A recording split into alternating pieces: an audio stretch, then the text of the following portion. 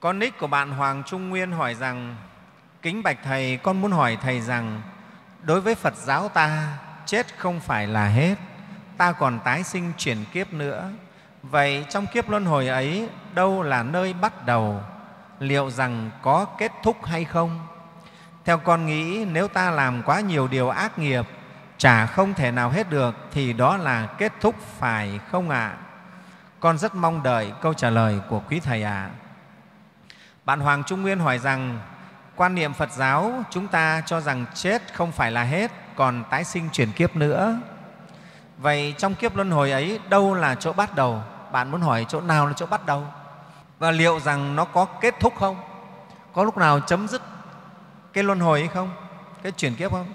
Và theo bạn ấy, bạn nghĩ rằng nếu ta làm quá nhiều điều ác nghiệp, chả không thể nào hết được, thì đó là kết thúc phải không ạ?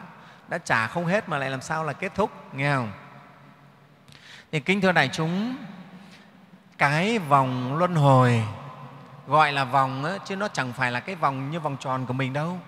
Vòng đây tức là đi đi lại lại luẩn quẩn gọi là vòng. Và lục đạo của chúng ta đó, khi sinh làm người, ở kiếp người, sống như thế nào đó, hoặc thiện hoặc ác, chết rồi thì hoặc là đọa, hoặc làm súc sinh, hoặc làm ngã quỷ, hoặc xuống địa ngục. Hết nghiệp ở địa ngục, tái sinh đi lên, và có trường hợp thì lên thẳng làm người, có khi tái sinh lại làm ngã quỷ, hết kiếp ngã quỷ lại lộn lên làm, làm súc sinh, hết kiếp súc sinh lại tái sinh lên làm người. Lên người ờ, lại gặp Phật Pháp mà tu tập thì được lên làm Atula thần hoặc lên làm trời. Lên trời ăn chơi nhảy múa một thời gian lại tụt xuống và cứ thế gọi là, là đi luân hồi lên lên xuống xuống. Người ta ví giống như bánh xe luân hồi. Mà cái luân hồi này thì quả thật nó không có bắt đầu nó không có cái khởi thủy luân hồi từ vô thủy cái chữ vô thủy là không có đầu nhé bạn hoàng trung nguyên nhé chúng ta đã luân hồi từ vô thủy tức là không ai cho đến phật tìm được cái điểm ban đầu chúng ta đi luân hồi từ bao giờ phật cũng không biết được phật không biết là cái chúng sinh này nó đi luân hồi từ bao giờ chỉ biết là cái kiếp ấy ông ông đã có mặt trong luân hồi rồi thôi hỏi phật bao nhiêu kiếp trước phật cũng biết trăm ngàn vạn ức tỷ kiếp trước Phật cũng biết. Hỏi đến bao bao nhiêu kiếp trước Phật vẫn biết, nhưng mà Phật cũng không biết được nữa. Mình có mặt trong luân hồi từ bắt đầu là kiếp nào cũng có. Biết rồi. Đấy khó thế. Nhưng vòng luân hồi thì có chấm dứt kết thúc.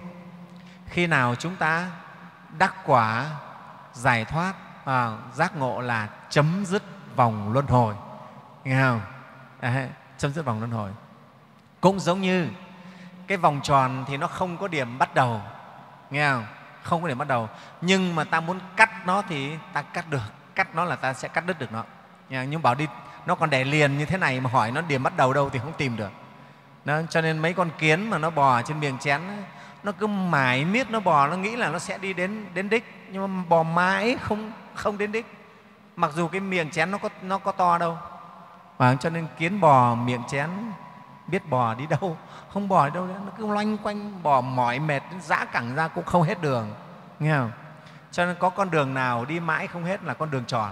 Là đi mãi không hết. Đó. thế thì ở đây riêng với luân hồi thì khởi đầu không có, nhưng kết thúc là có chúng ta đang tu học phật pháp đây để tính đến cái chuyện kết thúc cái vòng luân hồi này đấy. Đến cái điểm cắt đứt nó nha